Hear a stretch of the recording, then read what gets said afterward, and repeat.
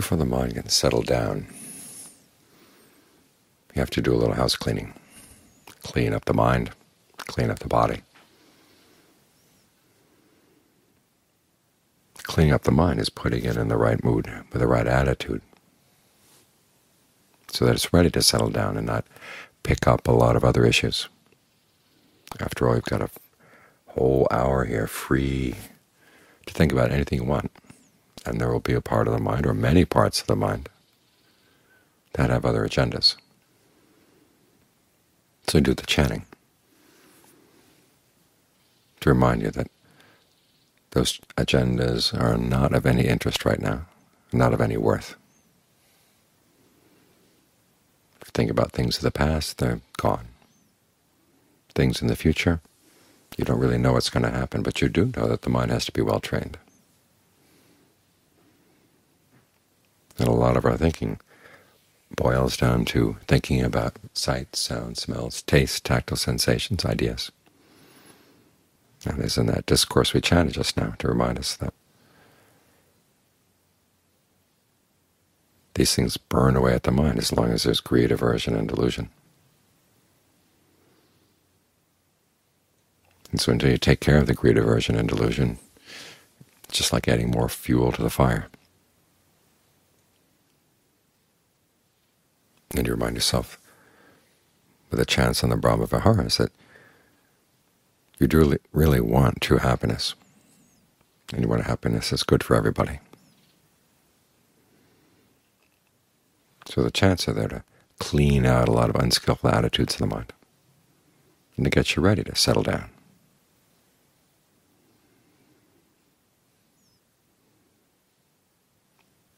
As you bring attention into the body, this is where you have to clean things out in the body a bit. Because there is a tendency when you start focusing in on the body that the power of your focus pushes the blood around, interrupts the flow of energy. It gets very restrictive. It can be very uncomfortable. So the natural reaction is to get away, leave the focus. You find yourself bouncing around the body quite a lot, in and out. So once you've got the right attitude that this is important, then the next thing you've got to do is to clean things out a little bit in the body. Make sure that the energy is flowing well in the different parts of the body.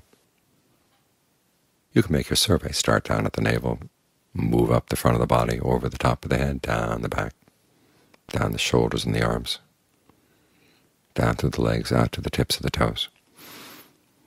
Try to loosen up all the areas of tightness. So that we can begin to realize that okay, your awareness getting centered is one thing, and the flow of energy in the body is something else. They may occupy the same space, but they don't have to affect each other.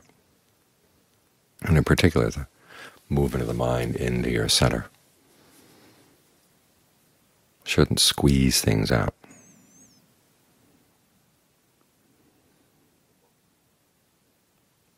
It's like your awareness and the body are on different wavelengths, and they don't have to interfere with each other.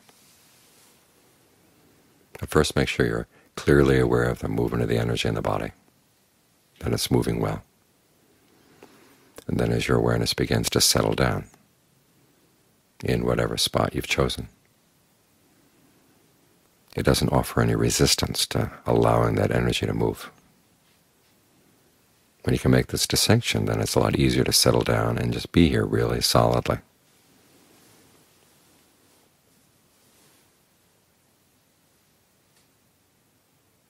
And then what do you do when you're here? You just remind yourself this is a place you want to stay, and you want to develop a skill, the skill of staying very, very still.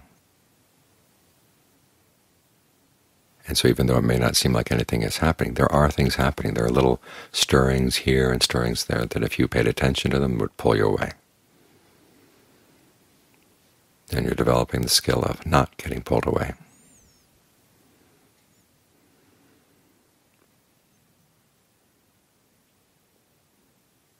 There's a passage in the Vinaya where Moggallana is talking to some monks and saying that when he was in what they call the imperturbable concentration,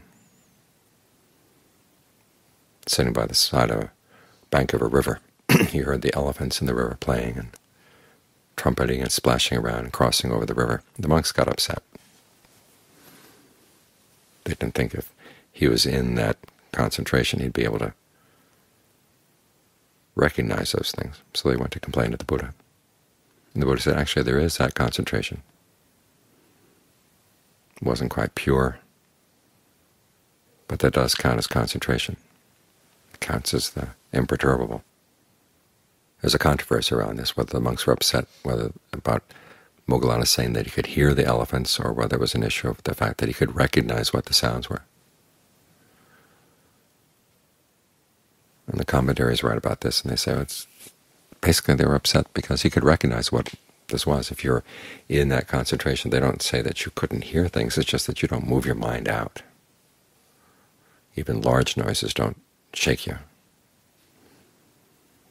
So we're not trying to block out our ears here. It's simply a matter of not getting pulled away by any other disturbances that kind of come up, whether they're outside or inside, physical or mental. Just think of them exploding into nothingness, whereas your mind is solidly right here. That's the quality you want, this quality of solidity. Now we're trying to make the mind solid, not necessarily the body solid. I mean, some people will find that as the mind settles down, it does actually stiffen up the body which is one of the reasons why we go through the body first and straighten out the breath energy so it doesn't get unbalanced that way. It's possible when the mind settles in that you find that you can't breathe. That's because you're using your awareness to squeeze the body. You don't want that. You want the awareness to settle in in the same place as the body, but not to squeeze anything in the body. To learn how to make that distinction. It's an important one. You want the body to be light.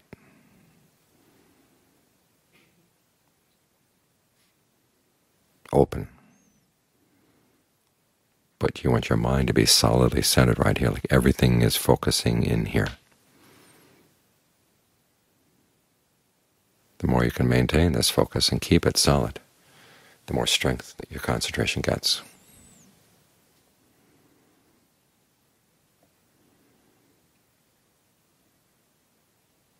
And this comes from being able to clean things out as you start. To remind yourself there's nothing out there you need to get interested in right now. You don't have any responsibilities to know anything about the world right now. You want to develop this skill of getting the mind really centered, gathering in, gathering in right here, in a way that allows the body to feel at its ease. And the mind to get unperturbed. If you're allowed to get perturbed by things coming in through the senses, as the Buddha said, it's like a cow with flailed, flayed skin being attacked by flies. It's constantly this little bite here, that little bite there, all the time, coming in from all directions. Sight, sound, smells, taste, tactile sensations, they're all coming in all the time, all the time. And if you let them disturb you, it's like those caribou you see up in Alaska when the mosquitoes are getting to them. They buck and they run and get contorted all over the place.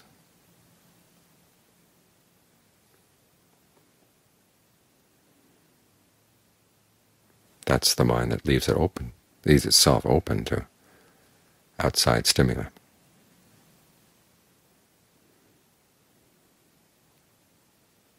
We're not trying to block them out in the sense of not being able to hear them or sense their presence or even know, but we are blocking them out in the sense that you just don't want to pay them any attention. So keep reminding yourself, if you find that you are going out, that there's nothing out there to really nourish you. The nourishment lies in here. the problem actually lies in here. The voice that wants to go out, that impulse to go out. But if you don't look very carefully and steadily right here, you never see where the impulse comes from. You just see it move and you go along with it. But here we're trying to be imperturbable.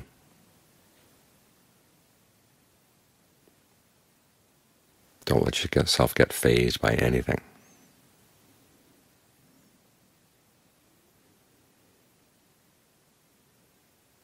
It's in that way the mind develops strength.